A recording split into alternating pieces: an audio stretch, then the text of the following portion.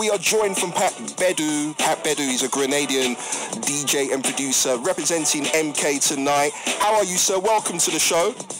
Oh, I'm very well, thanks. Thank you very much for having me on. Not at all. Uh, music. I mean, uh, I've done my research. You're into soul, jazz, hip hop, funk, reggae, rare grooves. How did it all start for you?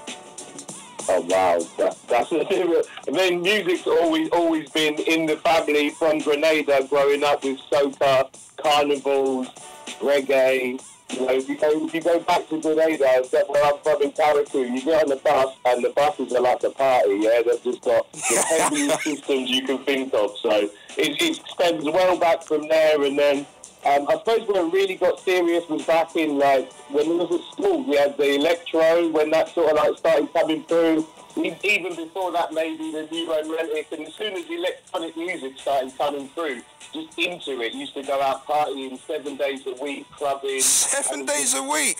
Be what, listen, what, what, what, what, were you, what, what, what were you drinking? Like were you were you on glucose or something, mate?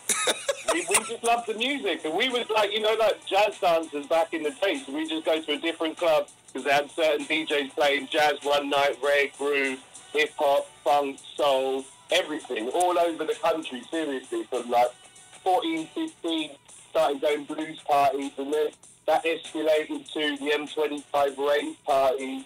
Been doing that for a long time. Um, and then all, every single person I knew, all my friends were DJs and producers, so I had to be a DJ in the end. My brother's been DJing for 10 years. I used to go out with him every single time he played a set. So I was like, I can't just be here doing nothing. So I started DJing. That's like 22 years ago now. Wow. And then and then started production was always going to happen as well. Just I was always in the studio, so happy being in there, so comfortable, and just wanted to be involved in everything. And then and then producing. Um, we're going to play your tune in a minute, and then we're going to play a game. But in a minute, I'm going to introduce you, uh, get get you to introduce the track. Briefly tell us how how did you get into production? production, as, as, I said, just just always all my friends. Well, one of my one of my really good friends is Steve Gurley.